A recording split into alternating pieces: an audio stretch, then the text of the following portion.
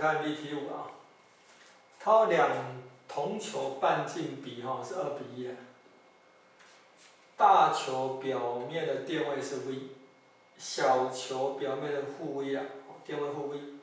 若将两球接触啊，用一个导线哦给它一导，那里面电流就流来流去，到最后两个电位一样，再分离至远处了，则小球。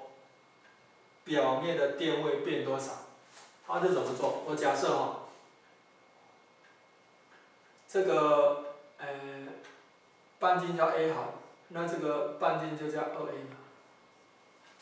它这个大球的电荷我叫做 q 一啊，小球电荷叫做 q 二。哇，那一个正的，一个负的，哦，因为电位是负的。好，那这样哈，我就知道这个 V 哈是等于。二 a 分之 kq，它这负 v 啊，是等于多少呢？a 分之 k，这 q 一啊，这 q 二，啊 q 二是负的。好，那你怎样接触以后的话哈，它获得的电流哈，是全部的多少呢？三正。哦，因为你一接触的话，它的这个。呃，什么东西啊？电位一样的话，那你电荷哈就会跟半径成正比。所以现在哈，Q 一不让哦，就是你把一接触以后，它 Q 一不让等它，等于那个全部的三分之二，因为是二比一嘛，三分之二，三分之二哈，Q 一加 Q 二。那最后的电位哈，V 不让会等于多少？